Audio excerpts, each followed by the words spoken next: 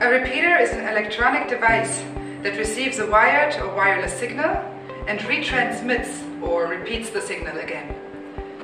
This extends the range of the signal and enables client devices to get connected even when they are far away. Repeaters are also known as boosters or range extenders, and people buy them as a quick and easy fix for connectivity problems.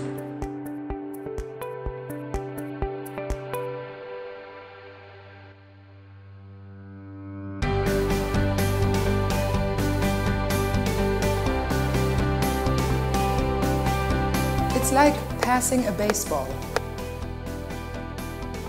Throwing the ball from the outfield fence back to a base can be too far. And that's what a repeater does.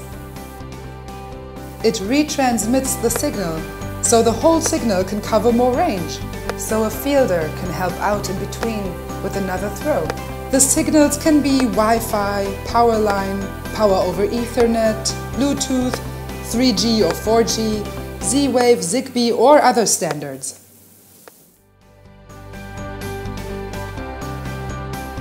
Bring dead zones back to life and stay connected with Edimax repeaters.